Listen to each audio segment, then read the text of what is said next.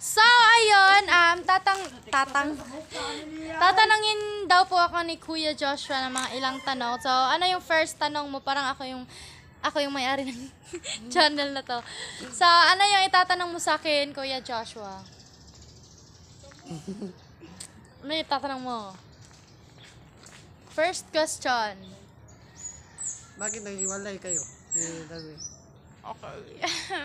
sure. So, ano, bakit naghiwalay daw kami?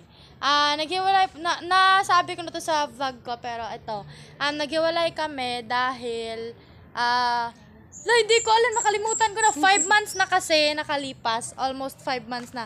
Pero yung dahilan, kas, di ko din alam kasi, ano, ah, hiniwalayan niya ako dahil sa selo sa boy best friend ko, which is yung mga brothers.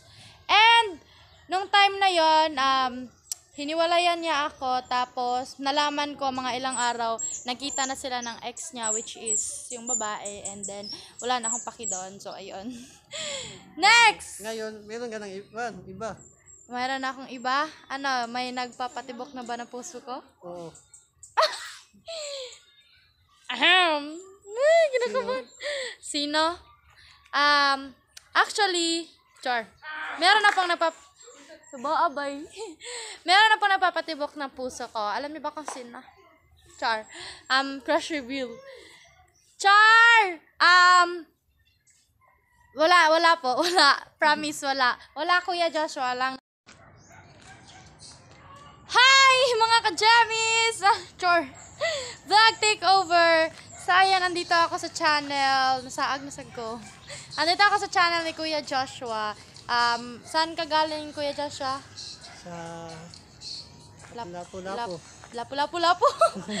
sa Lapu-Lapu Point, pumunta po siya dito sa Mandawi. Kaya, ayun, thank you, Kuya Joshua. And then, ah, may tatanong daw po siya sa akin. As ito yung collaboration namin. So, ano yung first tanong mo, Kuya, Kuya Jay? Ano yung tanong mo? Bakit nag- naghiwalay si Darwin?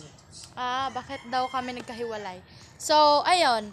Um, nakalimutan ko na kasi almost five months na yon and naka-move on na din ako. Kaya, ano, I'm so proud of myself kasi naka-move on na ako. Kaya, sag. So, ayan yung second. Hindi ko na rin sasabihin kasi baka Kailan? mag-flashback. I- Ilan years yung nagkasama? Ah, kailan? Last year, 2020, year 2020 or 2019? Ay, 2019. 2019 ba yun? So, di ko na alam. Nakalimutan ko na. Next! Saan si saan kilala si Darwin? Saan ko nakilala? Sa, ano, sa lugar nila kasi ah, pumunta kami ng friends, na, friends ko doon kasi fiesta noon. Kaya ayun, nagkakilala kami doon. Saan kayo nagkita?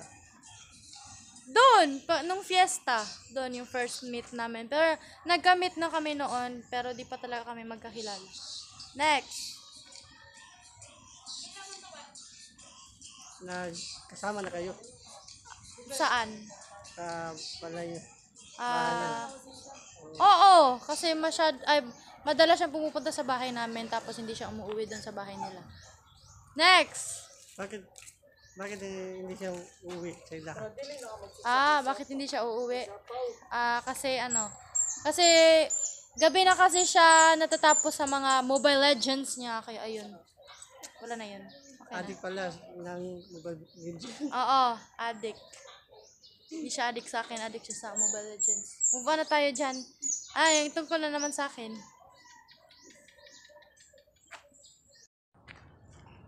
Charan! I'm, I'm back! Ay, we're back. Me, hindi nag-come back. Ah, char.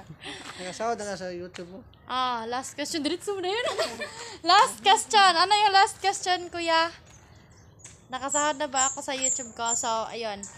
Um, hindi pa po, pero napadala na po yung ads. Ah, secret, secret muna kasi nandun lang sa vlog ko. Secret. Kaya ayun, yun na po lahat yung mga questions niya. And sana nagustuhan niyo please subscribe to his YouTube YouTube channel. Itong channel na to. Subscribe niyo po ito and um, don't forget to subscribe din sa YouTube ko. Yes. YouTube ko, Kyla16 Vlog. So, thank you all for watching. Sana manood kayo sa vlog ni Kuya.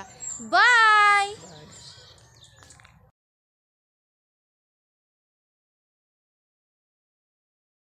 Uwi na kami. So ayun guys, tapos na po sila nag-collab ni Kyla. So subscribe nyo na ang channel nila. At kita-kita ulit tayo sa next vlog. Bye-bye. Bye-bye. Please don't forget to like, share, and subscribe. And pakisubscribe na rin sa YouTube ko. Ilalagay niya lang dito, AJ Fernandez. Thank you for watching.